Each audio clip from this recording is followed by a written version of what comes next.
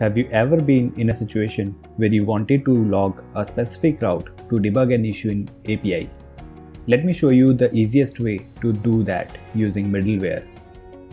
Middleware provides a convenient mechanism for filtering HTTP requests entering your application.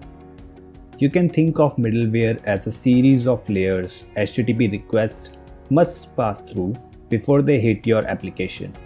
Each layer can examine the request and even reject it entirely.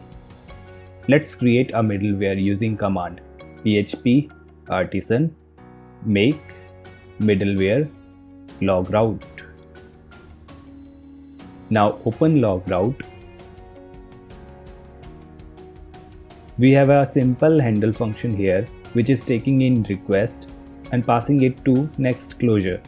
Let's store the response from next closure here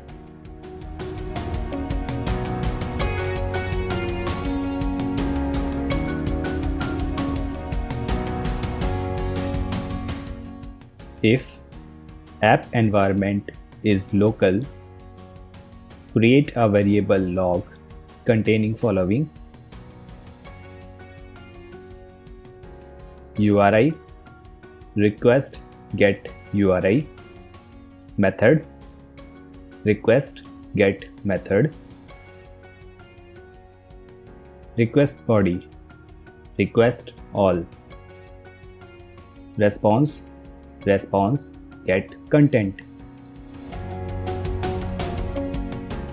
Added to log file using info function in log after converting above array to JSON string as the function expects the parameter to be string.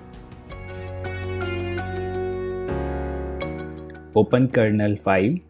We want to use middleware with routes so let's define it here and assign it a key log.route.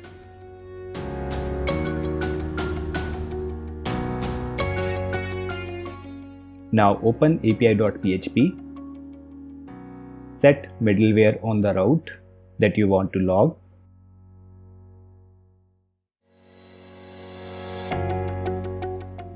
Initially our laravel.log is empty. Now call this API using Postman and check again. You can see the API log here. Link to the entire code is given in the description. Thanks for watching. If you would like me to make a video about a specific topic then do let me know in the comment section below. And please like, share and subscribe.